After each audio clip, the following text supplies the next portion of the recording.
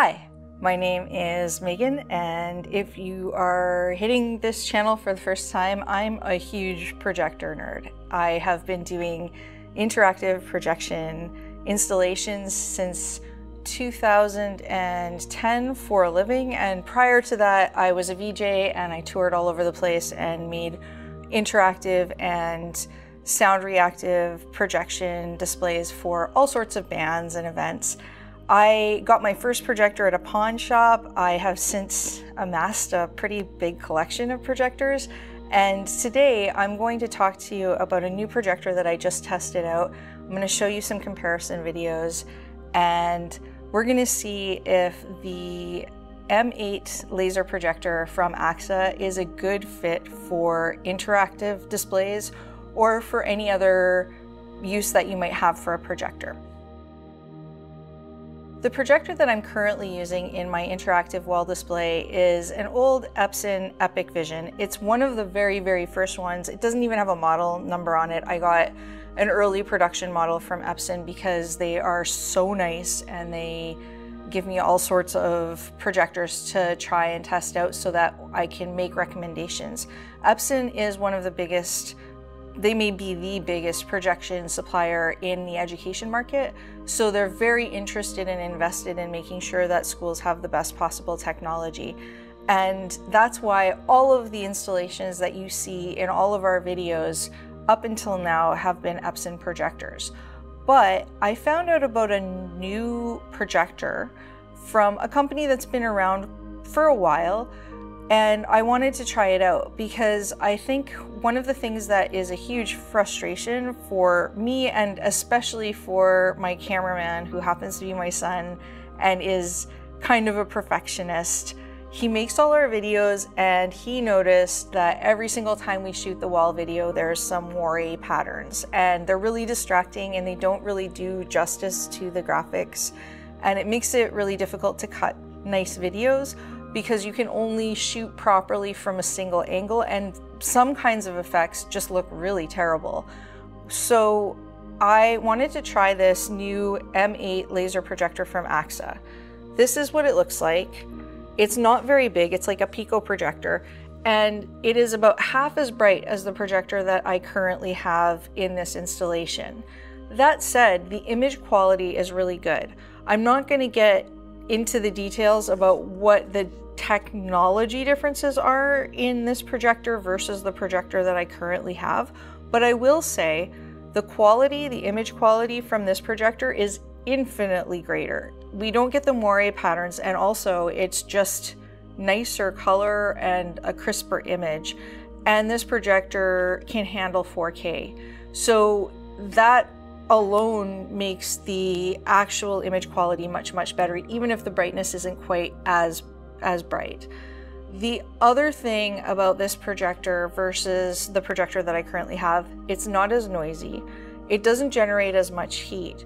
It's much easier to mount because it just has one mounting screw and doesn't need a custom mount like the projector that I currently have installed.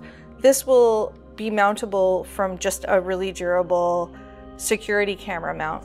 This is the clamp mount that I used in my last video about portable interactive floors and how you can build your own. And this will just screw right in here. Um, and even though this mount is not what I would recommend for mounting this projector, I should have done this with my right hand because I am not left-handed. Let's switch this over. Um, even though I would not recommend using a mount like this because this has a bendable gooseneck so it's not super stable.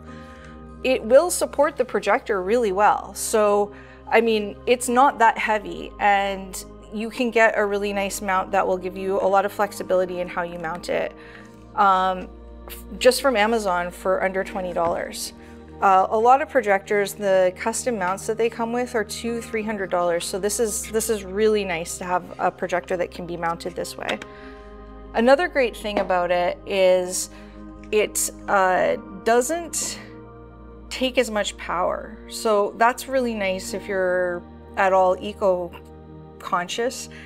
And lastly, it's made by a company in the United States, which is very, very rare for a projector company. So if you take a look at the before and after um, or the comparison videos on the different games that we shot, you'll notice that not only is the image crisper and the pattern missing, um, but the the actual uh, resolution is quite a bit higher on this projector. I had to switch it back down when we got to the water and the jellyfish effects because I found that um, that was slowing down my computer. Uh, the graphics card on my computer couldn't handle running those effects at 4K, but the projector handled them just fine and, and it looked really, really good. The only reason that I would not recommend this projector for anything other than household videos and watching movies is because of the remote. The remote and the buttons on the projector itself are kind of flaky and the remote itself kind of feels like an afterthought. It's it doesn't it's not very robust. It's missing a lot of features that I really expect to see in commercial installation projectors. And to be fair, this is not intended for a commercial installation at all. This is a home projector.